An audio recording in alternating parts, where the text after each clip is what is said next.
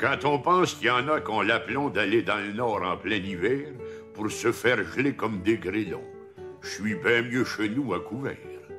Il y a bien assez que j'en arrache à rester debout sur mes deux pieds pour marcher sur le plancher des vaches. J'irai pas en ski pied. Il y a des skieurs de fantaisie qui montent dans le petit nord à plein train pour se ramasser une pleurésie ou bien pour se casser les reins.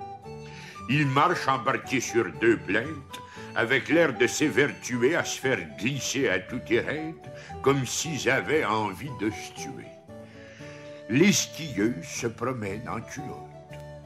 Il y en a qui ont l'air des échalots, et puis d'autres qui sont tellement boulottes qu'on a peur qu'elles volent en éclats.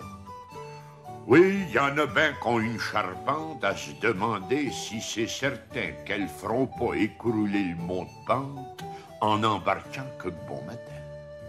Il y a bien des skieurs qui vont en file se promener dehors malgré le nordin, mais d'autres qui font du ski de chasse de filles, bien confortables dans leur chalet. Des jeunes vont se promener loin de la ville en disant que c'est pour faire du ski.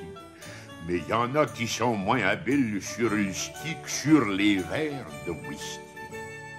Les vrais skieurs, c'est nombre. Les autres restent à l'hôtel au chaud. C'est ça, comme dirait Valdon, une histoire des pays d'en haut.